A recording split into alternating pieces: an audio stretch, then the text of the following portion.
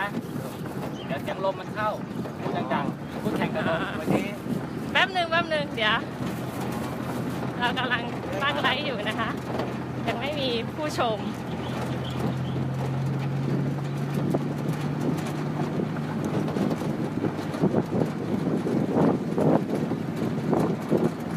ตื่นแต่เช้าไหมวันนี้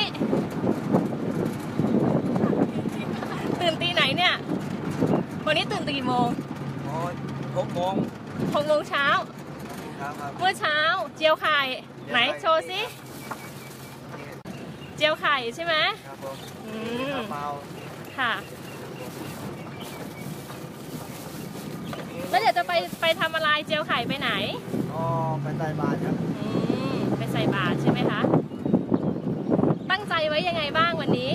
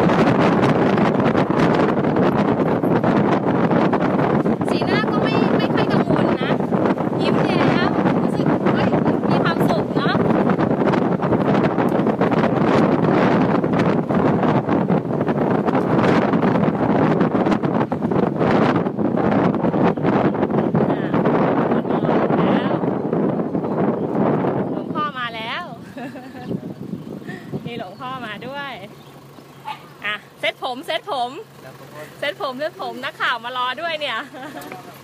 ค่ะ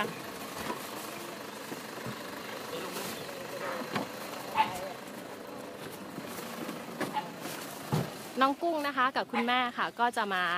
ใส่บาตรตอนเช้านะคะ เพื่อความเป็นสิริมงคลนะคะ ก่อนที่จะไปฟังคำพิพากษาที่ศาลจังหวัดสิงห์บุรีในเช้าวันนี้นะคะ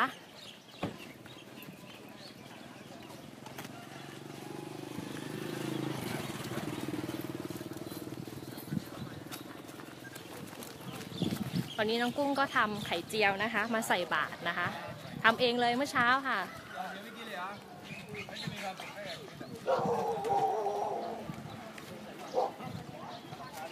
เพื่อความเป็นสิริมงคลนะคะ น้องกุ้งและครอบครัวก็ทำบุญตักบาตรนะคะ ก่อนที่จะไปฟังคำพิพากษาของศาลจังหวัดสิงห์บุรีในเช้าวันนี้นะคะ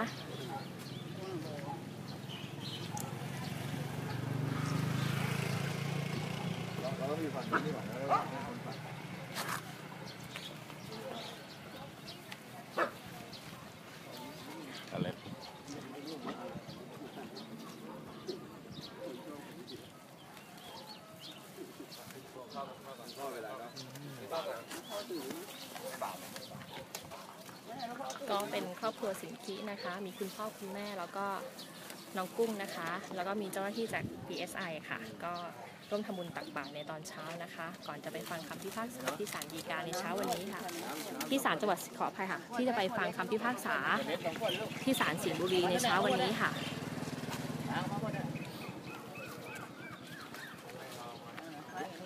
วดลงดินเลยขวดน้ำลงดินเลยเอาให้ลงดินเลย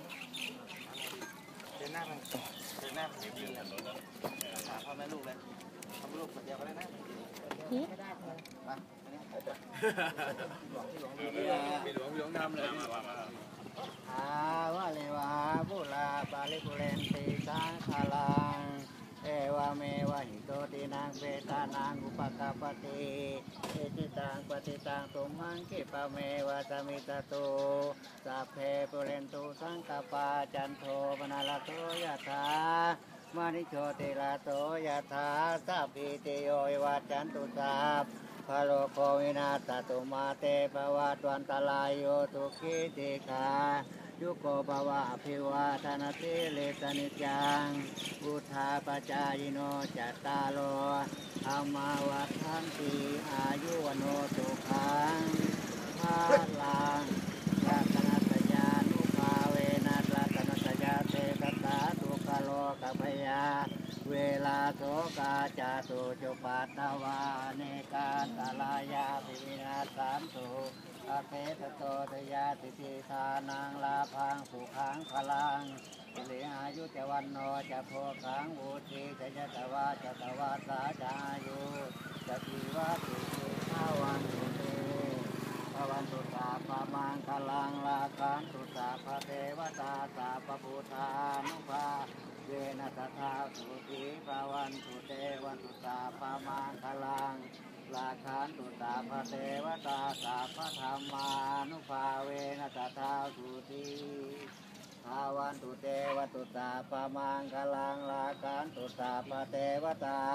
สาปะสังฆานุภาเวนัสทาสุติภาวันตุเต อาเจริญพร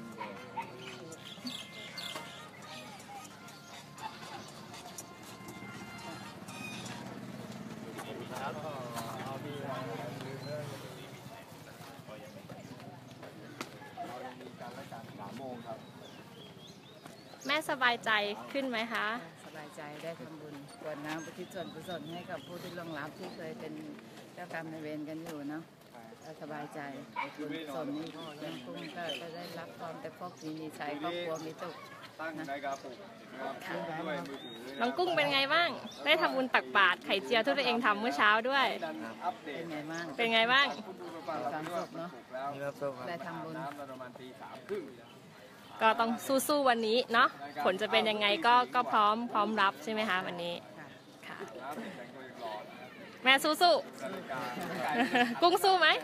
ไก่ที่ได้ขันตีสามสู้ไหมดูดูครับสู้นะสู้ๆค่ะ เดี๋ยวดีได้หยิบนาฬิกามาดูหลังจากนี้นะคะก็จะเดินทางไปที่ศาลจังหวัดสิงห์บุรีค่ะ เพื่อฟังคำพิพากษาของ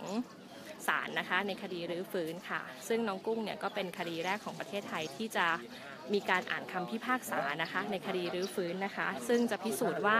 พัสกรสิงคิจะพ้นมนทินจากการตกเป็นแพะรับบาปในคดีฆ่าในพจน์เกิดผลหรือเปล่านะคะเพราะผู้ต้องหาตัวจริงตอนนี้รับสารภาพไปหมดแล้วนะคะ ก็ต้องติดตามกันค่ะ9โมงวันนี้ค่ะที่ศาลจังหวัดสิงห์บุรีค่ะ ฝากติดตามต่อด้วยนะคะ